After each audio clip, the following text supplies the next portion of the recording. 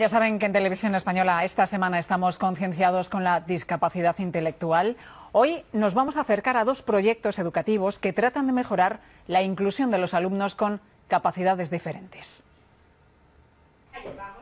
En esta aula el jueves es un día especial. Los alumnos con discapacidad intelectual preparan las actividades que por la tarde compartirán con sus compañeros del otro cole. Trabajamos muchísimo el tema de la socialización, de las relaciones, eh, el tema del juego, todo lo que sería ese mundo eh, de inclusión es el que trabajamos allí. Les acompañamos y comprobamos que para los otros niños la clase conjunta también es una fiesta.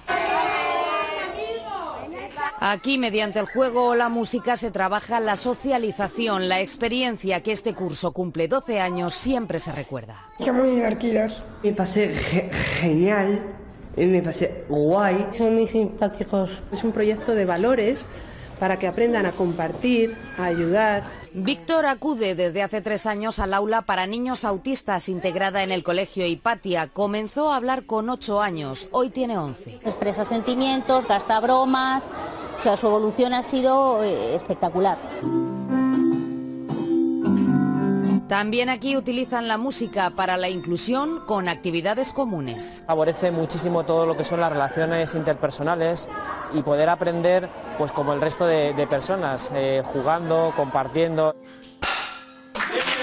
Proyectos diferentes con un objetivo común, educar en la riqueza de la diversidad.